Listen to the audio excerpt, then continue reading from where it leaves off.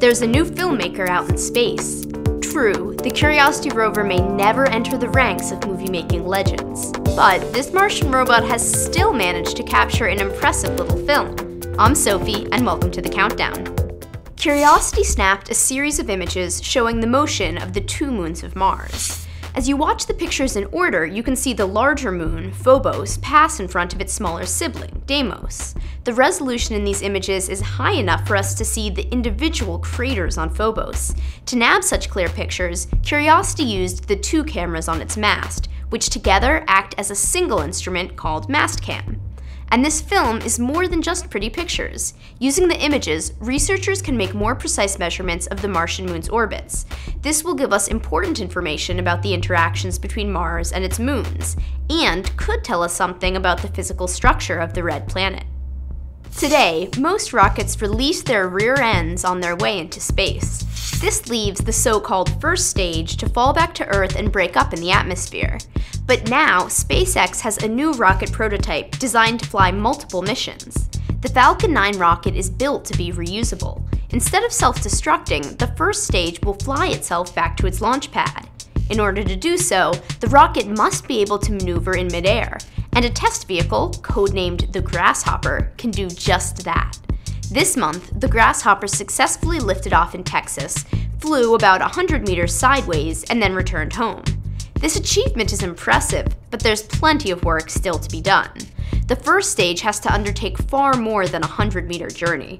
It must slow down from a speed of thousands of kilometers per hour, lower itself back into Earth's atmosphere, and then travel hundreds of kilometers back to its launch location.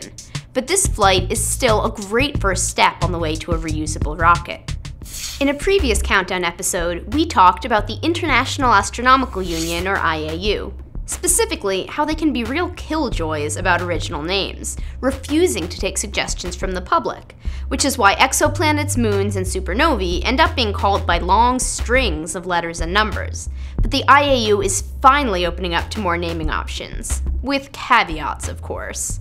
The union requests public naming campaigns and organizations work with the IAU throughout the process. So, what if you come up with a great idea for a name on your own?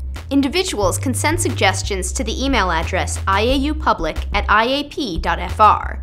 But before you submit Krypton, Vulcan, or Tatooine, make sure to check that they haven't already been claimed by another celestial body. This past February, a meteor exploded in the sky over Chelyabinsk, Russia. The fireball, which released 30 times the energy of an atomic bomb, left hundreds of tons of dust in the atmosphere. And thanks to an orbiting satellite, researchers know where all that material went. A few hours after the meteor self-destructed, a plume of dust formed about 40 kilometers up in the sky. As the dust moved, flowing east at more than 300 kilometers per hour, heavier pieces began falling to the ground while the smaller particles stayed aloft. After four days, the plume had rounded the Earth, and it kept on going. Even months after the initial explosion, a ring of dust remained, circling the planet. While we know what happened to the meteor after impact, we still don't know where it came from. One theory, proposed by Spanish scientists, is the meteor belonged to a larger group of asteroids which could also be headed for Earth. So keep your eyes on the sky. How do you measure the gravity at the surface of a star? Well, there are a few different methods, but none of them have been particularly accurate.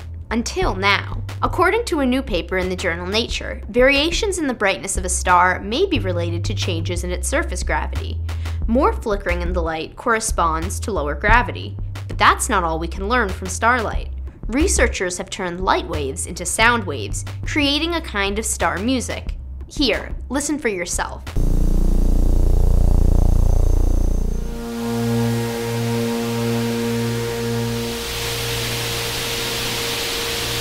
This star song can tell us a lot. The tone changes when dark sunspots pass in front of the camera. This tells us how fast the star is spinning. And the hissing noise comes from flickering hot and cold patches, which form as hot gas moves towards the star's surface and cold gas moves towards its interior. This can tell us the size of the star, since larger bodies have more hiss. And that's your countdown. Links to all of these stories are in the description below. Also, don't forget to visit the Spacelab channel on YouTube and subscribe. For Scientific American, I'm Sophie Bushwick, and I'll be jamming out to star music. Good morning, starshine. Not that music. So happy to be